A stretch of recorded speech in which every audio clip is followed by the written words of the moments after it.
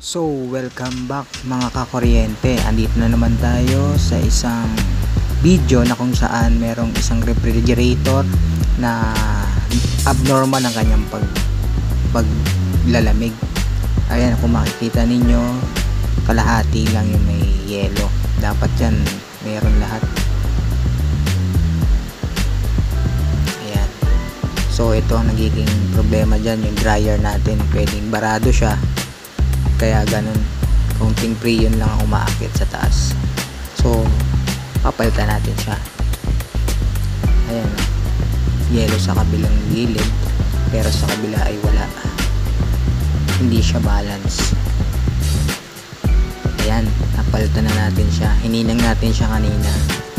Yan dulo dulo tapos nilagyan na rin natin siya ng yan access bulb ma-check natin yung preyon tapos makita na rin natin tapos pwede natin kargahan kung kulang.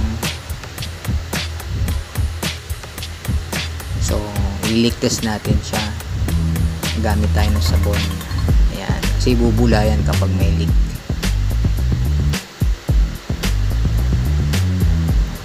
So ayan. Kita nyo wala siyang bula. So okay siya. Okay yung pagkahinang natin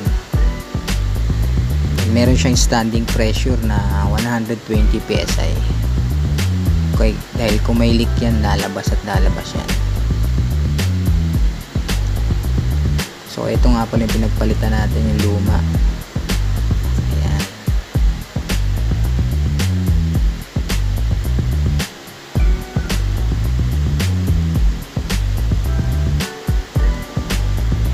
tapos nyan na-flashing natin siya kanina. Nirelease natin yung 120 pressure sa loob. Tapos nag-flashing tayo para naman mawala yung mga dumi sa loob. Tapos ito magbabacuum tayo. Importante itong pagbabacuum para sa mga moisture sa loob na kailangan nating alisin. Kasi delikado ang moisture kapag nakapasok sa loob ng mga tubo sa system ng rep natin. So nag-vacuum tayo siguro mga 15 minutes. Tapos dinagyan natin siya ng initial pressure yung preyon dinagyan natin siya ng konti para pumasok sa loob. Tapos yan babacuumin natin siya ulit.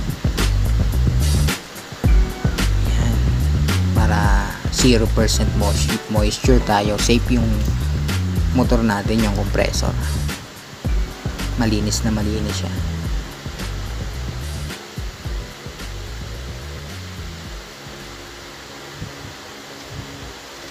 okay siya. Negative pressure yan.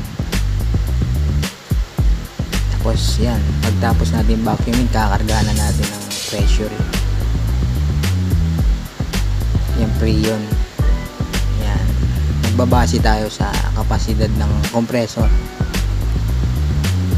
At yan, 12 bars ko siya binaandar. So, 12 bars nakalipas. At ito na ang resulta. Maganda. Lahat may may yellow so pati yan nakapag-produce na tayo ng ice. So okay siya. Equal na yung distribution distribution ng lamig natin sa loob ng freezer. Okay dyan. Malamig na rin yung chiller natin sa baba. Ayan yung normal na amperahe ng rep natin.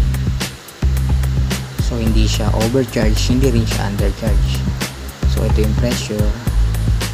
Ayan. High side, low side.